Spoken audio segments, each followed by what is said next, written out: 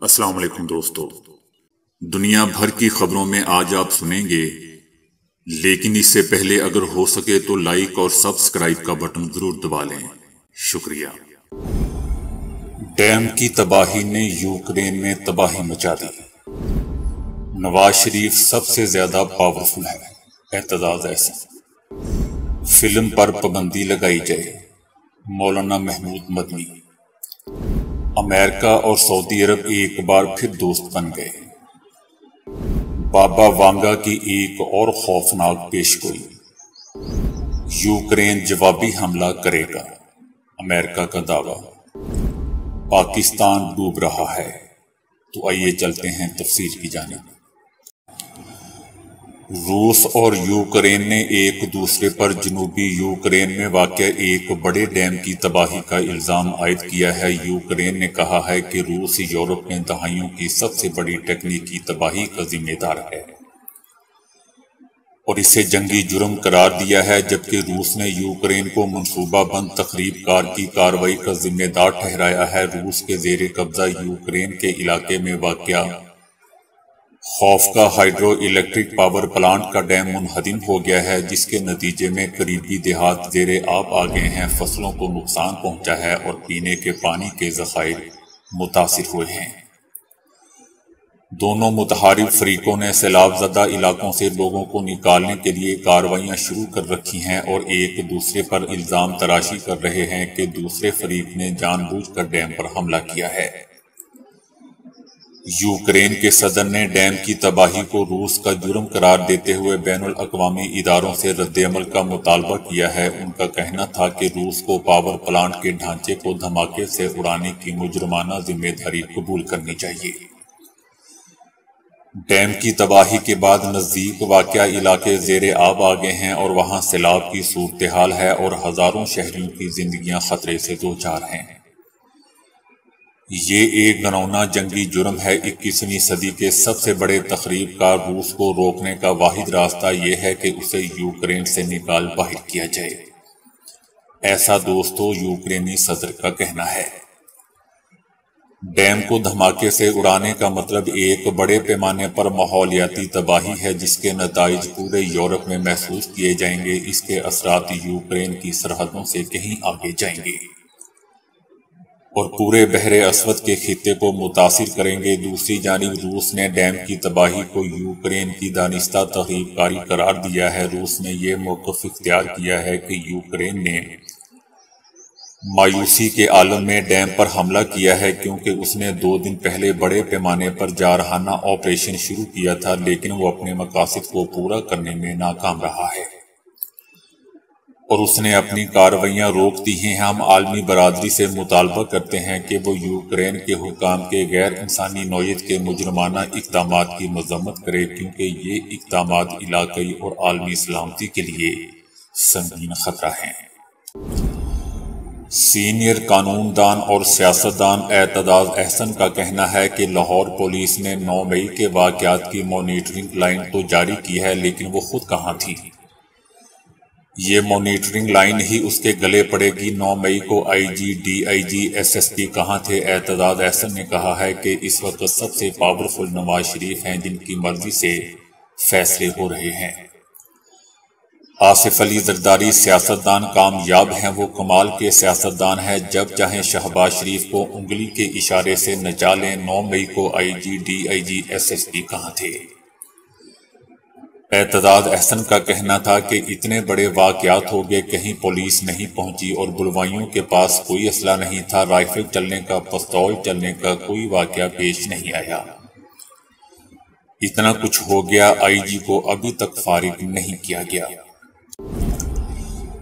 जमीयत उलमा हिंद के सदर मौलाना महमूद मदनी ने कहा है कि इस वक्त मुआरे को तकसीम करने के बहाने ढूंढे जा रहे हैं और मुजरमाना वाक़ात को मज़हब से जोड़ने के लिए फ़िल्में और सोशल मीडिया का सहारा लिया जा रहा है।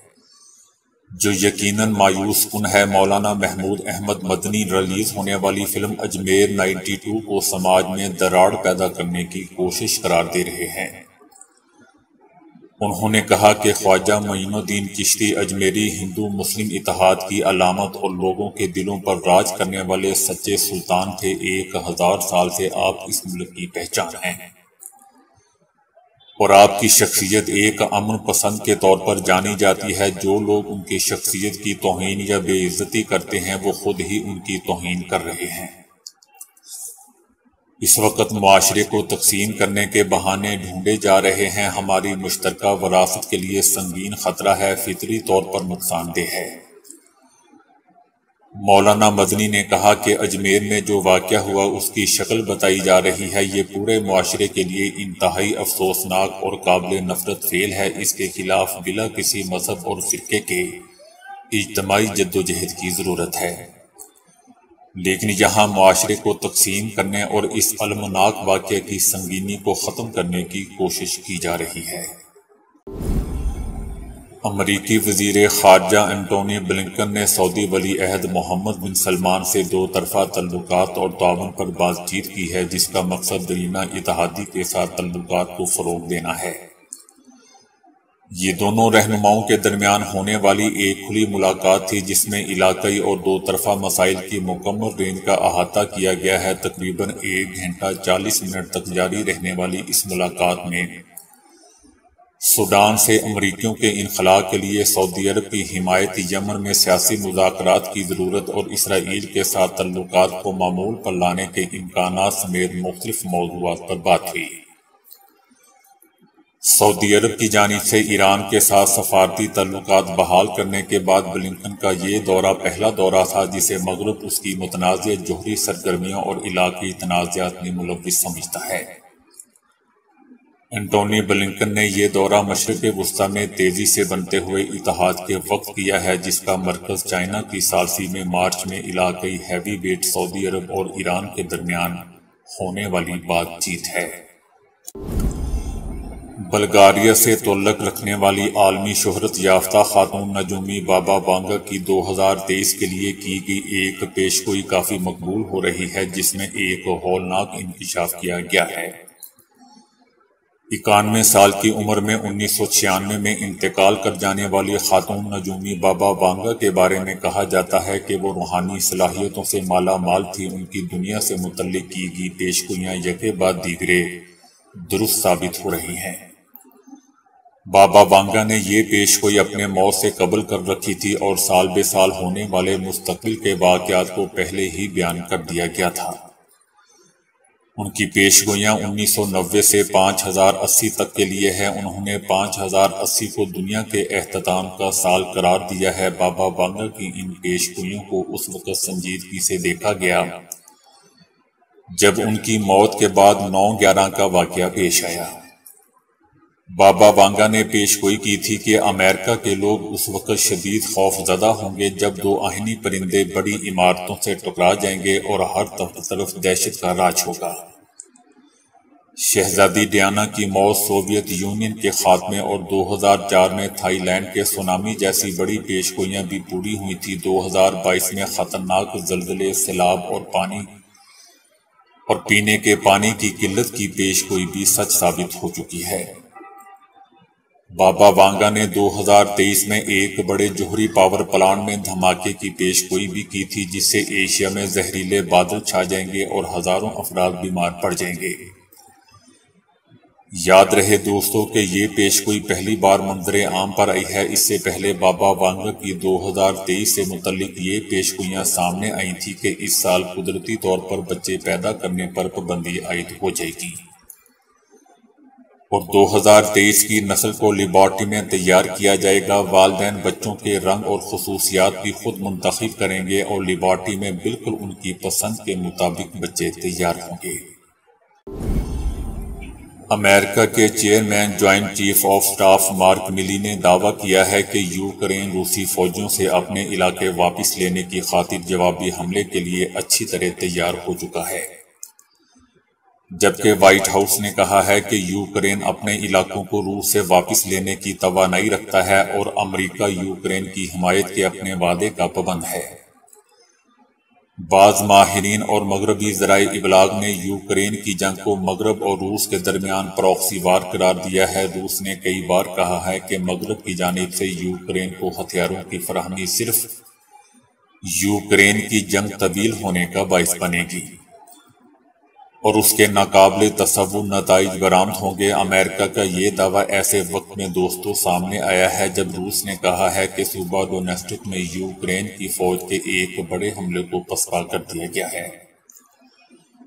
इस इलाके में रूस ने यूक्रेन की फौज के खिलाफ हालिया कार्रवाई के दौरान 1500 से जायद फौजियों को हलाक और 28 टैंकों को तबाह कर दिया है। यूक्रेन पर वसी हमले एक ऐसे वक्त में हुए हैं।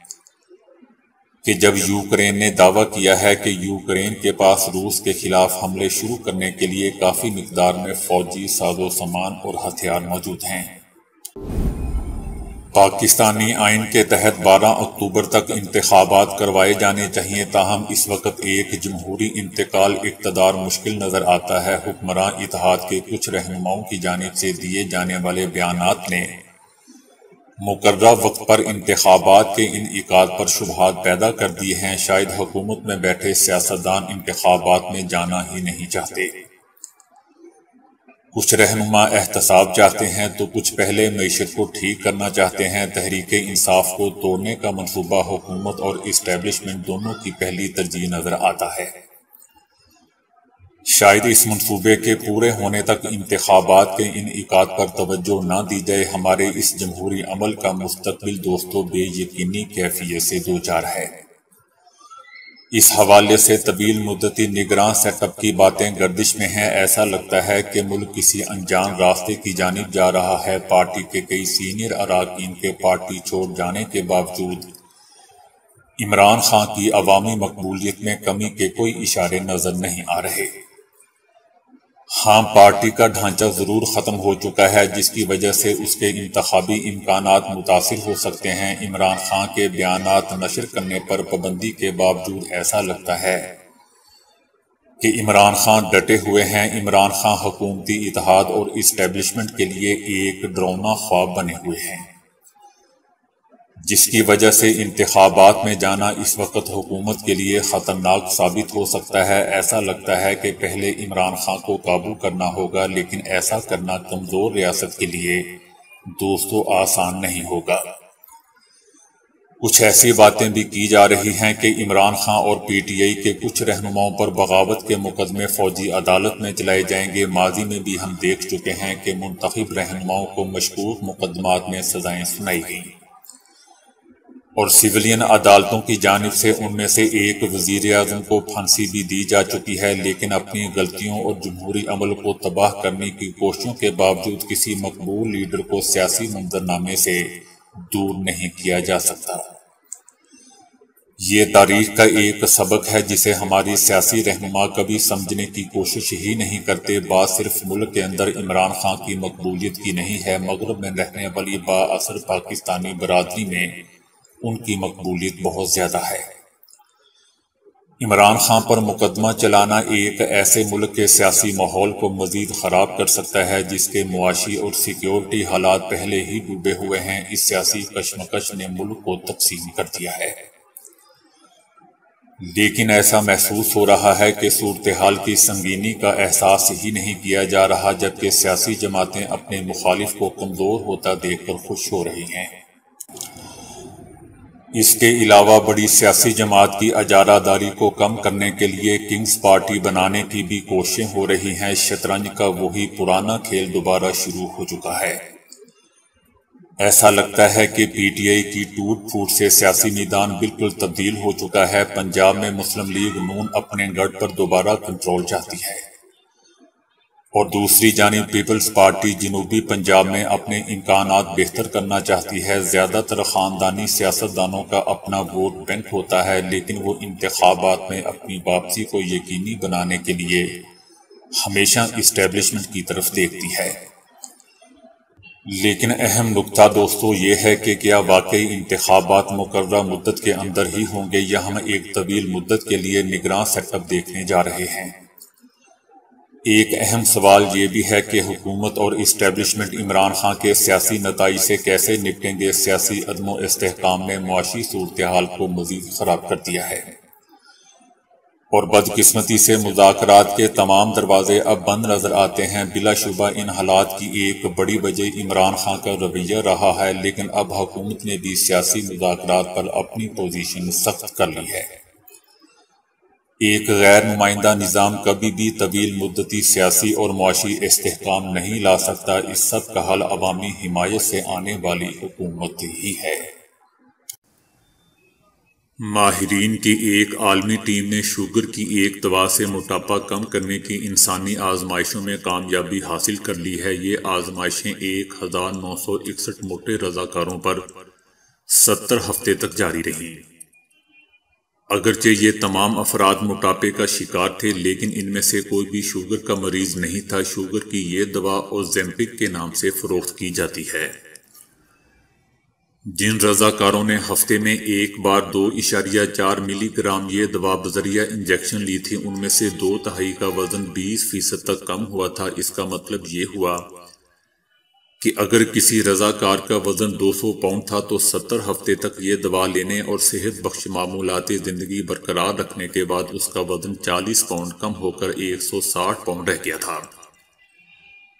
ये कामयाबी इतनी गैर मामूली है कि ये दवा तैयार करने वाली यूरोपीय फार्मास्यूटिकल कंपनी ने वज़न कम करने के लिए इसे अलहदा से फरोख्त करने की इजाज़त तलब कर ली है। दोस्तों, इस तहकीक की मुकम्मल तफसील the New England Journal of Medicine के ताज़ा शुमारे में शाया हुई है। लबनान के शहर त्रिपोली में छोटी सी कंपनी का बनाया हुआ एक साबुन इतना महँगा है कि उसकी 100 ग्राम वाली टिकिया अट्ठाईस सौ डॉलर में फ़रोख्त की जाती है, जो पाकिस्तानी हिसाब से चार लाख पचास हज़ार रुपये में बनती है। इस साबुन की तैयारी में सोने के बारीक जर्रात के अलावा हीरे के सफूफ भी इस्तेमाल किया जाता है। ये मसनूआत हर जगह दस्तियाब और फ़रोख्त के लिए नहीं पेश की जाती, बल्कि सिर्फ़ दुबई और मुतहदा अरब अमारात की चंद एक दुकानों पर फ़रोख्त की जाती है, जहाँ हर चीज़ बेहद महँगी और इंतहाई मालदार तबके के लिए होती है।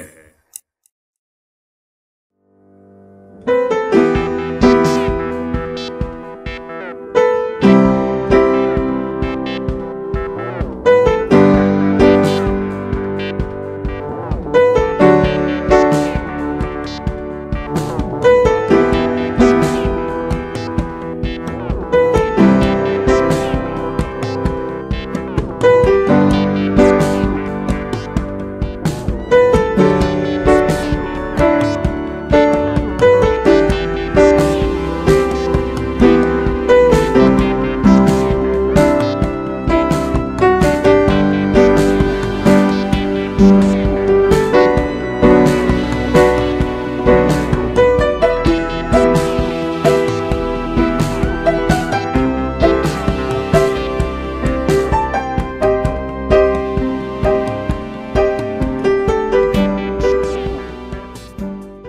दोस्तों, अभी के लिए इतना ही। वीडियो को लाइक और शेयर करने का बहुत बहुत शुक्रिया।